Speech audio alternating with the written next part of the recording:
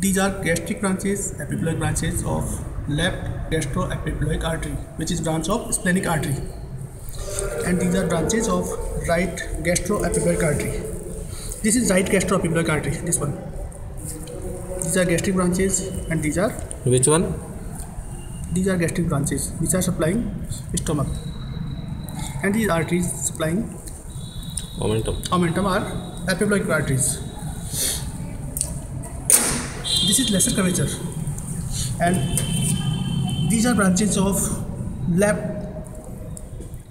Right. right gastric artery, which is branch of hepatic artery, and these are branches of left gastric artery, which is itself is branch of celiac trunk. This is small branch of celiac trunk. This is lesser omentum. This is gastroepiploic foramen. Here you can pass your finger in lesser omentum. This is gastroepiploic foramen.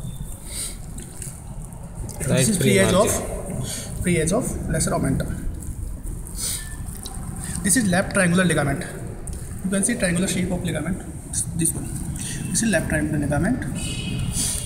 This it's here you, you will see the superior or anterior part of coronary ligament. Here and this is transverse colon. This is transverse colon.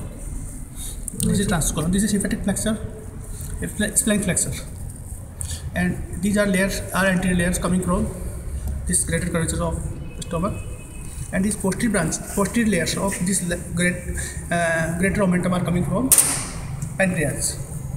Pancreas is retroperitoneal.